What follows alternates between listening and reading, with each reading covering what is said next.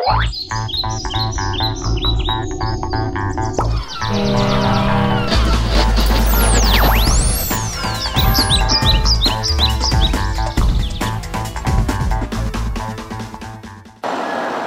Wirtschaftsministerium, der Freiherr Karl Theodor zu Guttenberg, hat erklärt, wo es lang gehen soll mit Schwarz-Gelb. Sein industriepolitisches Grundsatzpapier ist die Blaupause für Schwarz-Gelb.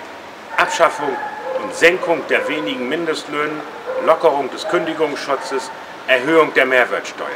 Als er dabei bei dieser Blaupause für Schwarz-Gelb ertappt wurde, hat er gesagt, erst das sei überholt und zweitens blanker Unsinn. Jetzt stellt sich raus, es ist weder überholt noch blanker Unsinn. Es ist das Grundsatzprogramm von CDU, CSU von 2007, was die Beamten des Wirtschaftsministeriums einfach umgesetzt haben. Alle Dementis zum Trotz.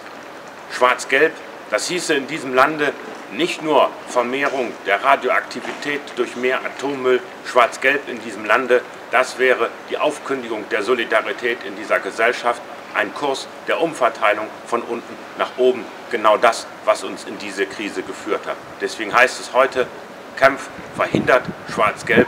Wir Grünen können das schaffen, wir drehen das.